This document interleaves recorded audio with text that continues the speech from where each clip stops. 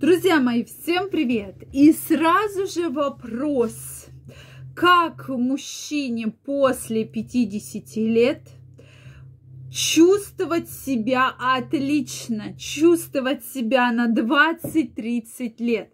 Возможно ли это? Вопрос, я думаю, волнует многих из вас. Поэтому мы сегодня с вами будем разбираться. Я очень рада видеть каждого из вас сегодня на своем канале. С вами Ольга Придухина. Если вы еще не, за... не подписаны, не записаны на мой канал, обязательно подписывайтесь, делитесь вашим мнением в комментариях, задавайте интересующие вас вопросы, и в следующих видео мы обязательно их будем разбирать. Вопросов, конечно же, много. Почему кто-то из мужчин выглядит прекрасно в 50 лет, а кто-то уже видно, что возраст дает о себе знать. Ну, вообще, я считаю, что мужчина в любом возрасте может выглядеть прекрасно и прекрасно себя чувствовать, абсолютно в любом возрасте. Но особенно, особенно мужчины делают акцент вот на этот возраст 50 лет. И много приходит вопросов, как в 50 выглядеть и чувствовать на 20-30. Так вот, Конечно же, на это влияет огромное количество факторов. Это и ваш образ жизни, и ваши вредные привычки, и ваше питание, и множество-множество других э, факторов, да, ваше состояние здоровья, как вы себя чувствуете, э, вообще какие у вас были хронические заболевания, да, или острые заболевания, которые перешли в хроническую форму. Все это в совокупности очень ярко, очень сильно влияет на вашу вашу жизнь. Поэтому для того, чтобы хорошо выглядеть, чтобы хорошо себя всегда чувствовать, вам обязательно обязательно, вот здесь крайне рекомендуется правильно соблюдать пищи, э, питьевой режим. Пищевой, дальше про это будем говорить, и питьевой режим. То есть нужно выпивать полтора-два литра воды в сутки. Это крайне важно. Обычно чистой воды, не считая супа, чая, кофе и так далее. То есть обычная нормальная пище, питьевая вода без газа. Дальше. Ваши вредные привычки сводить к минимуму. Лучше бы от них вообще отказаться. Но, конечно же, мужчина, который курит, он будет хуже выглядеть, чем мужчина, который не курит. Соответственно, мужчина, который пьет, выпивает, употребляет алкоголь, как хотите назовите, его лицо будет гораздо больше подвержено отекам, чем мужчина, который, соответственно, не употребляет алкоголь. А если мужчина и курит, и выпивает, то, конечно же, это все сказывается на его лице, руках, внешнем виде, цвете кожи и так далее. Потому что как раз-таки алкоголь задерживает жидкость, поэтому именно от алкоголя мы видим такое огромное количество отеков и на лице в том числе вот этот вот помятый вид, да, как будто вот чуть-чуть убралось, да, лицо на один бок. Соответственно, это как раз-таки говорит о том, что, скорее всего, накануне мужчина принимал алкоголь. Ну, то же самое и про женщин. Просто сегодня мы говорим именно про мужчин.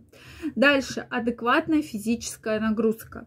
Вот этот возраст, он опасен тем, что я вижу, что как раз-таки в этом возрасте мужчины хотят Э, какие-то рекорды поставить, то есть начинают активно заниматься спортом, качать мышцы, каких-то там соревнованиях участвовать для того, чтобы добиться вот каких-то рекордов. И, друзья мои, ну это тоже абсолютно неверно. Конечно, если вы всю жизнь в спорте, это один вопрос. Но когда мы говорим про мужчину, который не занимался спортом и вдруг раз и начал заниматься спортом и пошел там бегать, марафоны, участвовать в каких-то соревнованиях, то это абсолютно неверно. Хотя, когда мы, допустим, я участвую сама в забегах, как вы знаете, я вижу, что много мужчин достаточно зрелого возраста и даже 80 лет участвуют в забегах. Это, конечно, прекрасно. Надо понимать, что в течение практически всей жизни они бегали, они тренировались. Поэтому физическая активность должна быть именно адекватная. То есть Пожалуйста, кардио нагрузки 2-3 раза в неделю по 40 минут. Бег, э, соответственно, велосипед, плавание, там, может, кто-то на танцы будет ходить. Пожалуйста, дома выполнять упражнения. Мы очень много времени посвятили с вами видео как раз-таки э, упражнениям. Упражнения также должны быть.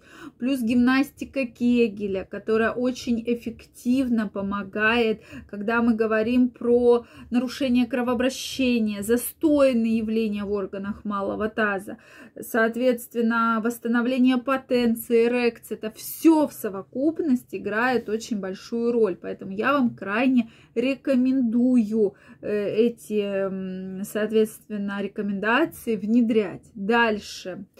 Питание. Питание должно быть разнообразное, питание должно быть правильно.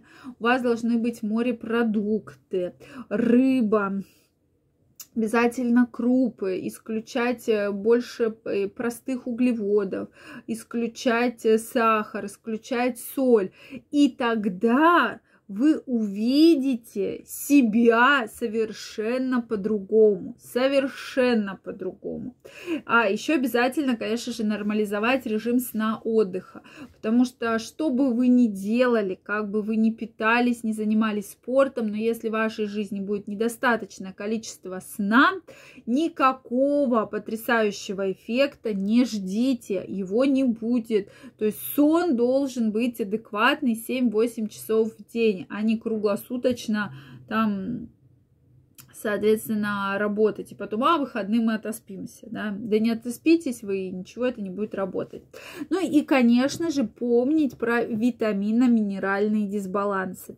Действительно, в нашем организме в течение всей жизни накапливается очень серьезное дефицитное состояние.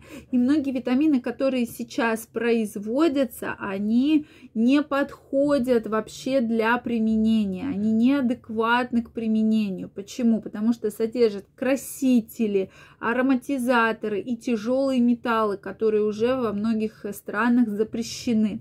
Я для вас специально разработала уникальный препарат, абсолютно натуральный чистое натуральное сырье производится в городе Санкт-Петербурге.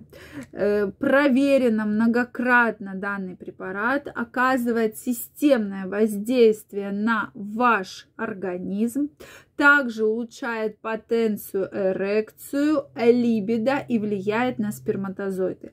Банка и курс рассчитан на месяц.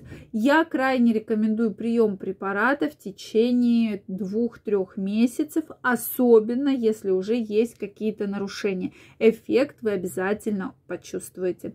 Для заказа первая ссылка в описании. Не жди торопись, заказывай, потому что действительно препарат уникальный, и многие уже мужчины испытали эффекты.